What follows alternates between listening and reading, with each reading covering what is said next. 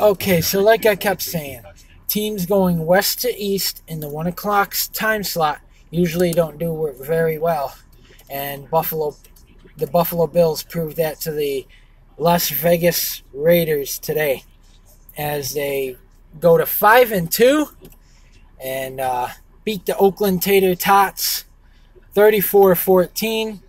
I've been saying it. People kept telling me, no, no, no, no, no, no, no. Well, we weren't supposed to beat Denver.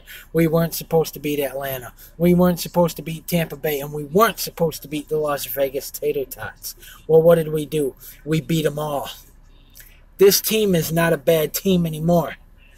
Yeah, they, they traded away talent. They traded away Marcel Dareus. People kept saying they're tanking, they're tanking because they got all these picks. So what? They got all these picks. That doesn't mean they're a bad team.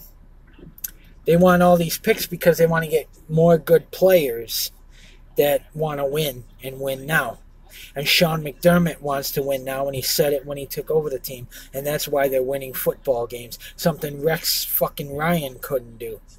Comment in the comment section below on what you think of Buffalo's 34-14 shellacking of the Oakland slash Las Vegas Tater Tots. And as always, if you like my videos, like and subscribe. Go Bills! Crash them Jets!